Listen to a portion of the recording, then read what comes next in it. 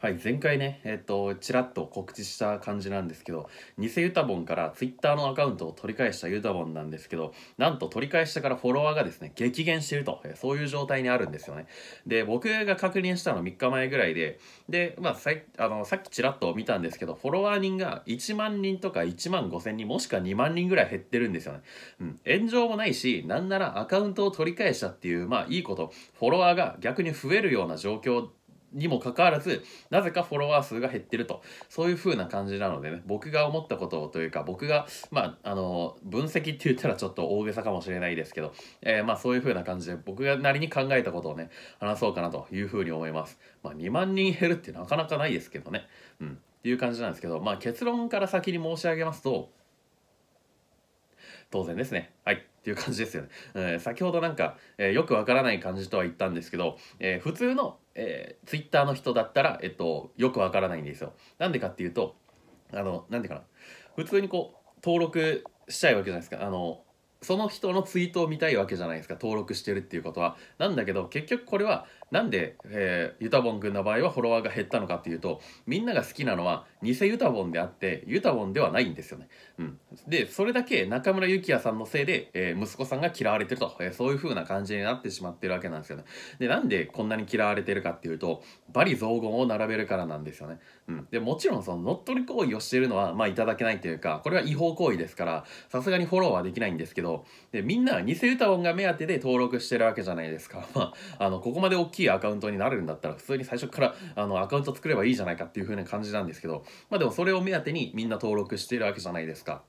でユタボンの煽り煽りツイートなんか見たくないわけですよ。でまあそれはあの中村幸也さんがそそのかしたっていう風な感じでしょうけどそういう低俗な文章は見たくないわけなんですよ。うん、なんでかっていうとみんな少なくともユタボンパパよりかは教養があるんですよ。えー皆さんユタボンパパよりも少なくとも、えー、とツイッターを偽ユタボンのツイッターフォローしてる皆さんの方が、えー、と教養があるわけなんですよ。だからこそあのまあなんていうかなその偽ユタボンがいっぱい四字熟語とか、えっと、英語を使ってこう発信してるのとユタボンの罵詈雑言ツイート。このギャップがこう面白いから登録してたりとかするわけじゃないですか。でその知識を偽ユタボンが発信してることをみんながこう吸収したいから登録してたのに、えっと、ユタボンにアカウントが戻りました。まあこれはいいことなんですけど。でもそのそういうことが起こっちゃったからまた罵詈雑言ツイートに戻っちゃったわけじゃないですか。だったらそれは外すよねっていう風な感じになるんですよ。で罵詈雑言とか見たくないんですよ。外外役外中とかね。えっ、とアンチはうんちとかね。そういうことをずっと言ってたわけじゃないですか。あまたそういうところに戻っちゃったんだ。じゃあもう登録外そうかなみたいな。そういう風な感じになるのあの当たり前なわけじゃないですか、うん、それはねあんな低俗な発信が戻るっていう風になるとフォロー外されるとかそういうのは至極当然だと思うんですよね、うん、それはね2万人近くフォロー外されるわっていう風に思うんですよね、うん。でまあ、これについて書かれている記事がね、えーありましたので、えーそれを抜粋していこうかなというふうに思います知名度が高い割に YouTube チャンネルの登録者数は15.2万人と低迷を続けています。ここ1年を見ていても1000人単位で登録者が増減している。YouTuber としては伸び悩んでいます。また Instagram のフォロワーは5000人。Twitter はフォロワー4万6000人余り。過去いずれも25日の15日現在。話題になっているのは Twitter で乗っ取り騒動からやっと本人が復活宣言し勉強に励んでいる報告をするや否や。23日の時点では6万人以上いたフォロワーが急速にフォローを外して話題に。生意気な中学生キャラに期待していたファンも多いようで。っ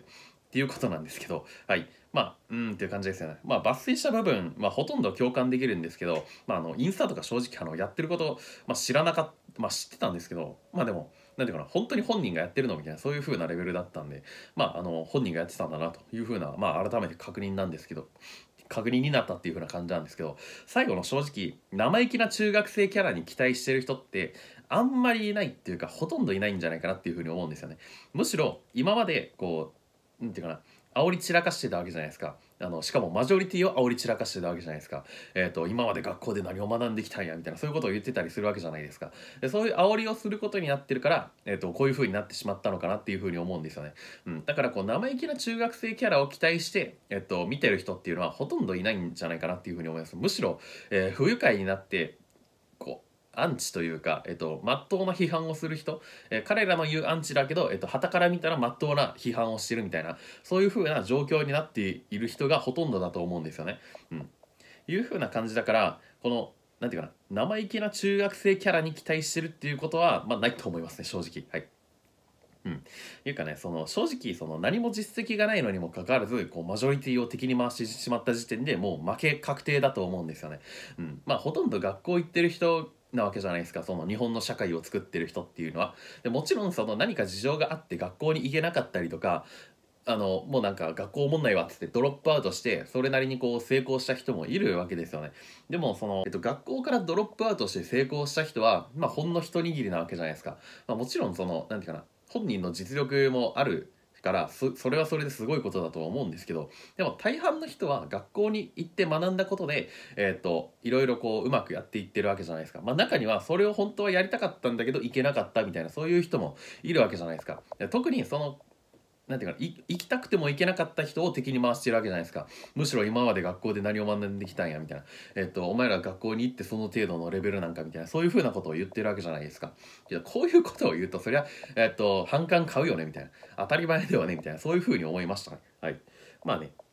結局なんか何が不愉快なのかとか逆にこういうことを言うと喜んでくれるかなみたいなことが考えられない親子なんだろうなっていうふうにまあ思いましたね。改めて思いましたね、うん、まあちょっとそこはもうかわいそうとしか言いようがないですよね。それはもう教養のなさというか教養がないからえっ、ー、と相手が喜ぶこととか逆に相手が嫌がるからやめておこうみたいなそういうのが、うん、判断できないというかそういう風なレベルになってしまってるんじゃないかなというふうに思いましたね。うん。まあ、逆に言うとだからこそ偽歌本に人気が出たのかなっていうふうに僕は思いましたね。うん、あのまあ、先ほども申し上げた通りその元々のユタボンの、えっと、バリ雑言ツイートと、えー、偽ユタボンのその、えー、高尚な、えっと、四字熟語とか英語とか、えっと、いろいろ使ってるツイート。でこのギャップが面白いからギャップが面白くて、えっと、みんな偽ユタボンのことが、えっと、なんて好きになったから登録してるわけじゃないですか、えー、フォローしてるわけじゃないですか。うんだけど結局そのギャップがなくなっちゃった。そのユタボンが取り返してまあ本当はいいことなんだけどなんかそのせいでフォロワーが逃げちゃったっていう風なことだからまあ結局ねその今までのやってきたことが、うん、裏目というかまあ裏目に出るというかまああの表表面かもしれないですけど、うん、まあ裏目というよりかはまああの表目ですね。はい、はい、まあそういう風な感じに出ちゃいましたね。はい。まあそれは当然そうなるよっていう風な感じですね。うん。いう風な感じですかね。まあだからこのままだったらその偽ユタボンが、えー、操作してた時が一番人気があった一番フォロワー数が多かったっていう風な時期に、えー、じゃあ事態になりそうですね。うん。まあなんせまあしょうがないですけどね。うん。まあしょうがないっていうかその何？結果だけ見たらしょうがないけどその内情とかえっ、ー、と今までの歩んできた歴史を見るとああかわいそうだなと、えー、まあうん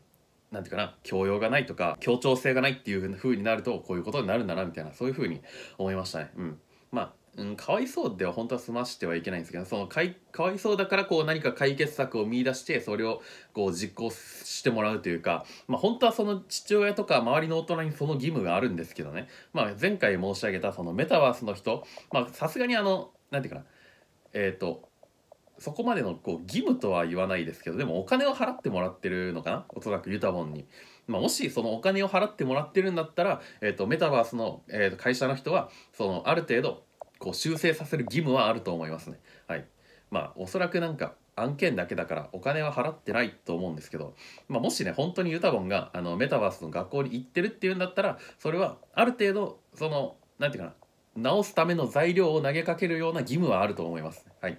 いう感じですかね。はい。まあそんな感じですかね。まあ前回も言ったように、いや、ユタボン君にはうまくやっていってほしいですけどね。